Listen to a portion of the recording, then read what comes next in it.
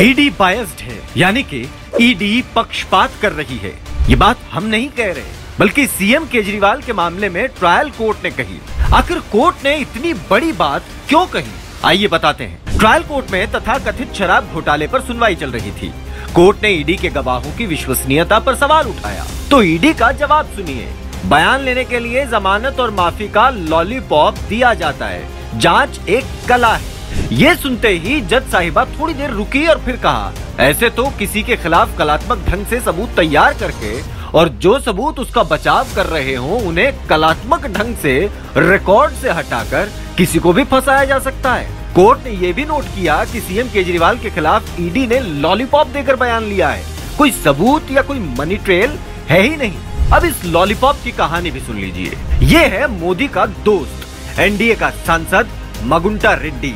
पहले ईडी ने पीएमएलए के सेक्शन 50 में दो बार इसके बयान लिए, पर इसने अपने बयान में सीएम केजरीवाल के खिलाफ कुछ नहीं कहा।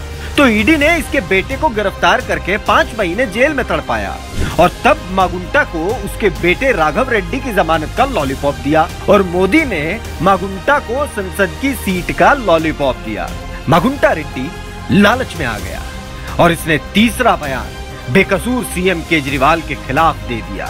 और इस फर्जी लॉलीपॉप वाले बयान पर ईडी ने एक चुने हुए सीएम को गिरफ़्तार कर लिया।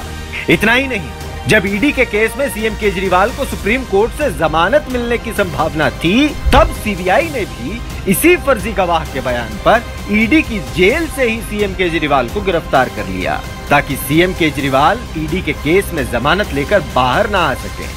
किसी भी हाल में सीएम केजरीवाल को जेल में रखने की ये हड़बड़ी, ये घबराहट बता रही है कि मोदी सत्ता का सबसे बड़ा डर सिर्फ़ केजरीवाल है।